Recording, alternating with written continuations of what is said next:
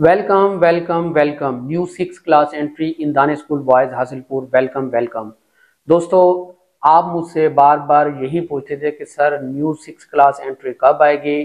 तो दोस्तों, आपको मुबारक हो new six class entry Danish school boys Hasilpur में और जितने भी दानिश के कैंपस हैं, ये छुट्टियों से पहले आ गई थी।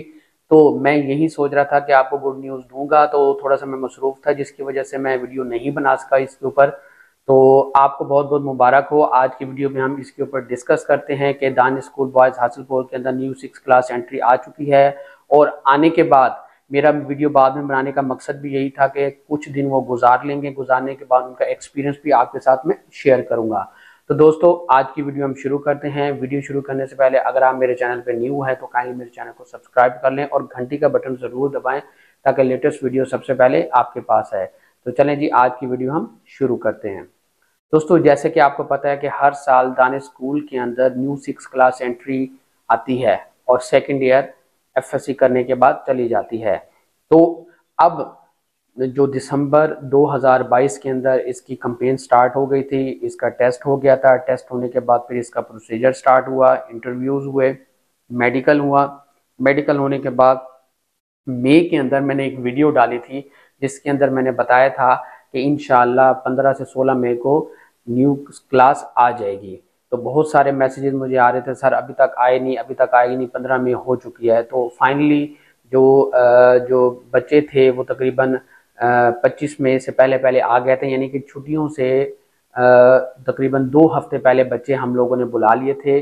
और बुलाने का मकसद यही था पहले तो ये प्लान था कि छुट्टियों के बाद बुलाएँगे, लेकिन उनको बुलाने का मकसद यही था कि जो छोटे बच्चे आएँगे, यहाँ के उनको यूनिफॉर्म बुक्स रूम्स अलाटमेंट हो जाएँगी और दो हफ़्ते यहाँ लगा लेंगे, यहाँ का एटमोसफियर यहाँ की रूटीन और यहाँ कुछ दिन क्लासेस लेने के बाद उनको समर असाइनमेंट भी दे दी जाएगी ताकि बच्चे छुट्टियों में फ्री ना रहे। तो माशाल्लाह, बच्चे आए, बच्चे बहुत ज़्यादा खुश थे। बच्चों के पेरेंट्स आए हुए थे, वो उनको छोड़ने के लिए आए हुए थे, वो भी बड़े खुश थे। और सब टीचर्स का और इदारे वालों का शुक्रिया अदा कर रहे थे, कह रहे थे कि आपने हमारे बच्चे को एडमिशन दिया। देखें, हमने एडमिशन नहीं दिया आपका बच्चा अपनी मेहनत से यहाँ पे आया हुआ है। हम लोगों ने जस्ट एक उनके लिए वसीला बने हैं जो कि अल्लाह की तरफ़ से। हमने किसी के ऊपर कोई एहसान नहीं किया, ये हमारी ड्यूटी है, हमारा फ़र्ज़ है, हमने ये करना है और आगे भी इंशाल्लाह आपके बच्चों के लिए हम लोग करते रहेंगे।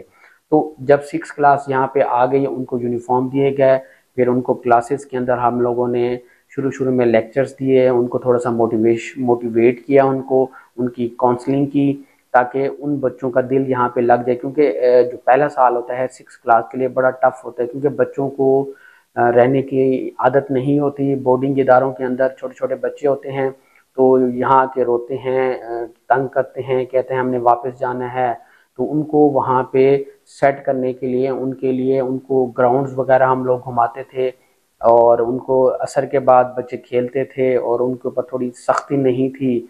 बच्चे क्लास में आते थे थोड़ा थोड़ा उनको काम दिया जा रहा था। ज़्यादातर बच्चों को हर चीज़ के बारे में बताया जा रहा था, यानी कि उनको ये चीज़, उनकी, उनका माइंड सेट बनाया जा रहा था कि यहाँ मतलब कि ये इदारा बड़ा ही अच्छा इदारा है बोर्डिंग इदारा है, इसमें कोई ज़्यादा सख्ती नहीं है। घुमा फिरा के, कि जो बच्चा यहाँ पढ़ेगा, मेहनत करेगा, ये इदारा उसके लिए जन्नत है। तो माशाल्लाह बच्चे आए बच्चों ने दो हफ़्ते यहाँ पे टाइम लगाया और मैं पर्सनली जब मैंने उन बच्चों को यहाँ पे ऑब्ज़र्व किया, देखा और मेरे बहुत अच्छे उस्ताद राशिद बोतला साहब भी यहाँ पे आए हुए थे और गवर्नमेंट पोस्ट ग्रेड कॉलेज के जो प्रिंसिपल हैं इशाद अहमद तबसम साहब, वो भी यहाँ पे आए हुए थे मिलने के लिए हमसे। तो हमने फिर उनको दानिश विज़िट करवाया न्यू सिक्स क्लास सेंट्री का हमने विज़िट करवाया। माशाल्लाह वहाँ पे बच्चे आए हुए थे। तो माशाल्लाह बच्चे बहुत ही ज़्यादा खुश थे और खुश होने के बाद आ, उनका यहाँ पे दिल भी लग गया दो हफ़्ते यहाँ पे रहे उनको हमने यूनिफॉर्म बुक्स किताबें ईच एंड एवरीथिंग हमने उनको लिया उनको रूम सेट रूम उनको अलाटमेंट होगी उनके हर यानी कि रूटीन को उनको हमने सेट करके दी। जब छुट्टियाँ हुई तो जून फ़र्स्ट जून से जब छुट्टियाँ हो गई थी तो फ़र्स्ट जून पाँच जून से छुट्टियाँ हो गई थी तो बच्चे चले गए।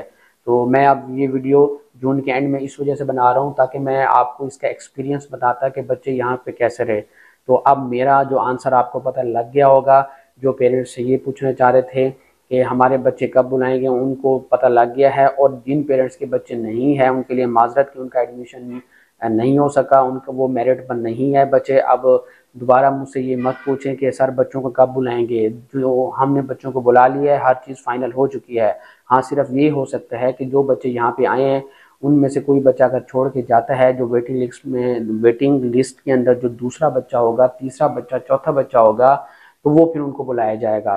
तब तक के लिए वो वेट करें। उसके बाद जो जिन्होंने न्यू एडमिशन लेना है, वो दिसंबर तक अपने बच्चों को रेडी रखें। यानी कि अपने बच्चों को फाइव क्लास का जो सिलेबस है, वो प्रिपेयर करवाएँ, उनको बाकायदा डेली बेसिस के ऊपर तैयारी करवाएँ, क्योंकि यहाँ पे वो बच्चे पूरा पूरा साल तैयारी करते रहते हैं।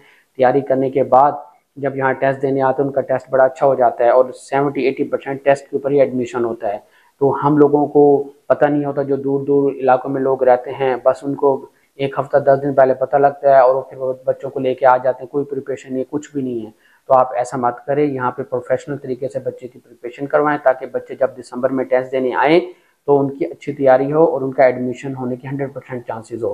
तो दोस्तों, मैं उम्मीद करता हूँ कि मेरी आज की वीडियो आपको समझ आ गई। Once again welcome to new six class entry आपको बहुत बहुत मुबारक हो। आप दानिश रोहैन बन चुके हैं दान स्कूल का आप अब एक हिस्सा बन चुके हैं, फैमिली मेंबर हैं तो हम उम्मीद करते हैं कि यहाँ आप आएँगे सात साल यहाँ गुजारेंगे, फुल मेहनत करेंगे और अपने पेरेंट्स का नाम, अपने मुल्क का नाम और दान स्कूल का नाम रोशन करेंगे, अच्छे मार्क्स लेकर और अच्छे नंबरों से एफएससी करने के बाद इन जो बच्चे एफ़ कर, करके जाते हैं तो उसके ऊपर भी हम लोग इन मैं उनके साथ वीडियो बनाऊँगा और उनसे बात करेंगे कि उनसे पूछेंगे कि ये सात साल यहाँ पे कैसे रहे। तो इन नेक्स्ट आपको वीडियोस मिलेंगी देखने को। तब तक के लिए मुझे इजाज़त दे, अपना बहुत सारा ख्याल रखें। नेक्स्ट वीडियो में दोबारा मिलेंगे। तब तक के लिए अल्लाह हाफिज़, पाकिस्तान।